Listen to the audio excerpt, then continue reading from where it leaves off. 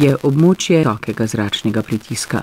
V višinah priteka k nam razmeroma topel in suh zrak, po nižinah pa še ustraja hladen zrak.